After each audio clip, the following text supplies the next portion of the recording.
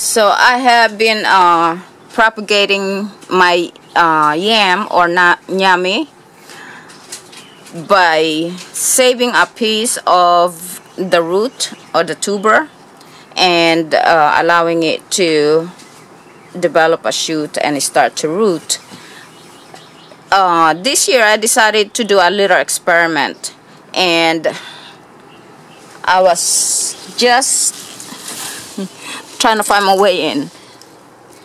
Please to discover that my experiment really actually worked. As you can see this here, this is a vine of the yam, which is the family of Dioscorea alata. And what I did is I put the vine touching the soil in the pot. And as you can see, it is well rooted in there. And here's the new growth. I'm going to try to get that out of here without damaging too much roots because I'm hoping that the purple yam there is already developing a tuber underneath the soil. So I'm gonna try to dig that without damaging much uh, roots around it. That's my purple yam aerial tuber had to be extra careful not to damage it. That's my purple yam aerial tuber and there's quite a good amount of aerial tuber going on. They're hiding as you can see. Those are purple yam and I do have some aerial tuber from the regular yam which I will eventually be able to show you but for now I do not want to mess with my uh, yam foliage so much. So I'm gonna attempt to try and dig this out. I hope I'm focused I'm sorry. Okay one hand on the camera and the other hand trying to dig this new growth right here right there without damaging my very precious purple yam the feeding root is right on the surface so have to be extra careful.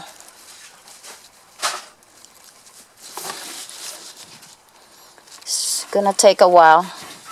Let me get you off of the camera for now so I could use both hand. I really don't want to damage the feeding roots which are right on the surface of the soil. Okay I think I got this loosened up right uh, daddy uh cut it right about here please. Yeah. yeah be careful with my finger. Cut it. Yeah. Okay. Now as you can see there goes the very delicate roots.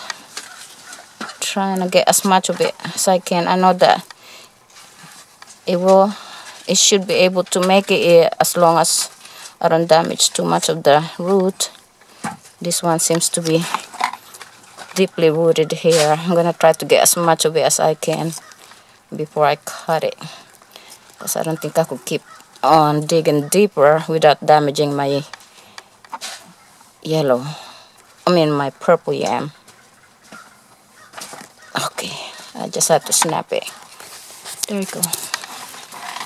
I have to, and here it goes and as you can see there's actually that tiny little aerial tuber attached to that. I did not even realize that but there's an aerial tuber right there. Look daddy you see? Okay so what I'm going to do is um going to, as you can see look at all of those delicate roots and a tiny I mean so tiny what the growth there seems to me is an aerial tuber and I'm just going to put it right here very gently. I'm not going to put it too deep just enough so that I could cover the root and leave the these two leaf two leaves I'm sorry out of the soil so there it is. That's my experimental uh, method of propagating yam. I will show you again how I, I went about it. I'm gonna water it with some organic fertilizer. This is what I did. This vine here as you can see it's nice and long. And all I did was put it right in the pot.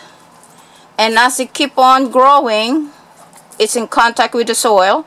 And as I water the plant the soil cover it eventually and it started growing root. And that's one way I find out that I could propagate my yam. If you remember I showed you that uh, this was an experiment. What I did was I grabbed a vine like this right here just hanging down like that.